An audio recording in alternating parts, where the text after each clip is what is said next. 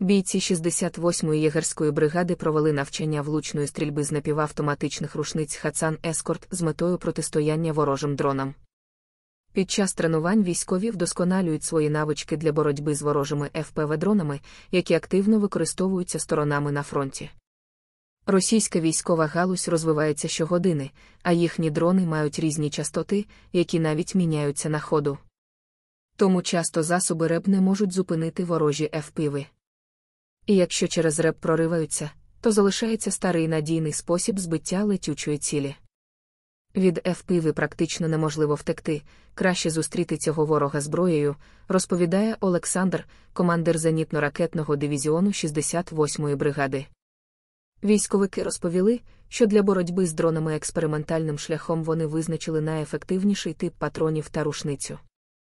Це вже принесло результати, і така тактика стала дуже популярною в умовах активного застосування дронів. Ми зіткнулися 70-90 FPV на день.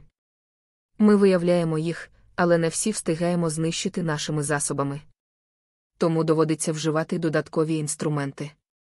Ці рушниці перекривають робочу дистанцію, з якої дрони здійснюють злети. Основні висоти 50, 80, 100 метрів, додає інструктор. У день зйомки репортажу Олександр з колегами підготував 50 бійців, але на тренування прийшло лише 25.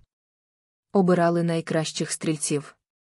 Ця робота дуже відповідальна збивати дрони, коли всі приховані. Треба мати характер, бути фізично міцним та вести здоровий спосіб життя, зауважує інструктор.